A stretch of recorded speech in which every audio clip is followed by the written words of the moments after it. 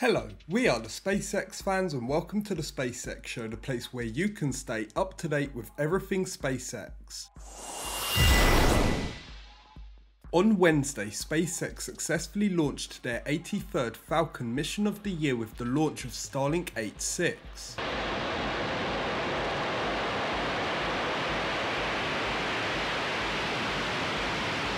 The booster which launched this mission, B-1062 unfortunately did not land successfully on its 23rd attempt. SpaceX said after a successful ascent, Falcon 9's first stage booster tipped over following touchdown on the A Shortfall of Gravitas drone ship. Teams are assessing the booster's flight data and status. This was the booster's 23rd launch. Yesterday, SpaceX successfully launched their 84th Falcon mission of the year with the launch of Starlink 810. One, zero, ignition.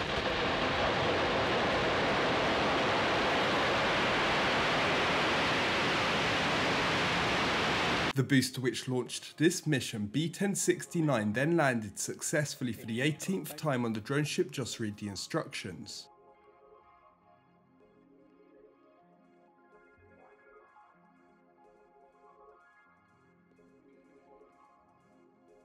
Stage 1 landing leg deploy.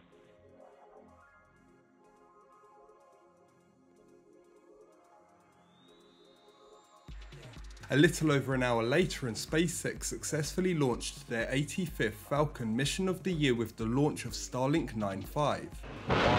ignition, and liftoff. Go Starlink, go DTC, go Falcon.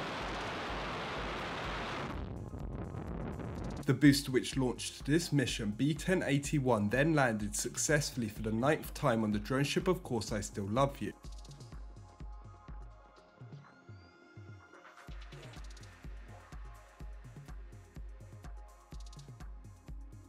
Stage 1 landing leg deploy.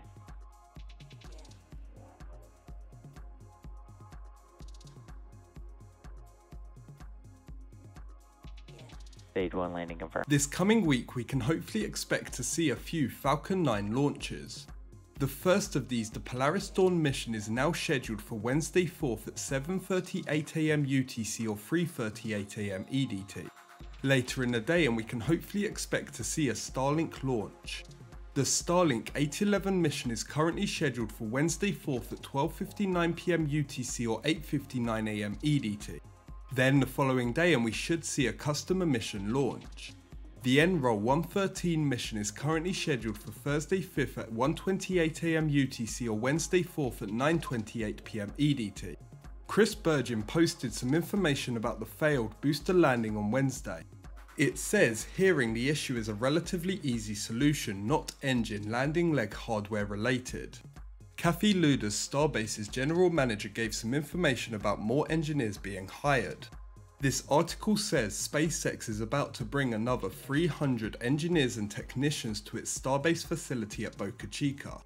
The work on the Pad A chopstick catching arms in preparation for Starship Flight 5 is continuing. The chopstick landing rails were seen being lowered, Chopstick stops were seen being added to Launch Tower 2. Sheet piles are being installed in front of Launch Tower 2. Work has been seen going on with Starhopper and it's believed to be preparations for a relocation. Here's a look at the construction of the office building. The work on the Star Factory expansion has been continuing. Work continues on Ship 30 as they prepare for Flight 5. Starship 31's heat shield tile replacement is continuing. A booster 15 barrel section was seen being moved in the yard.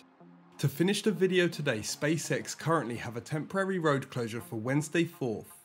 As always, I have to say thanks to both Mary, otherwise known as Boca Chica Gal and Jack Beyer for being out there filming the Starbase content.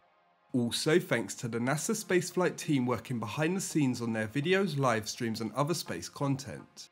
That's it for this episode of the SpaceX Show. I hope you enjoyed the video. If you did, make sure to hit the like button and leave a comment down below. If you want to stay updated with SpaceX info, make sure to subscribe and press the bell icon to get notified when I upload.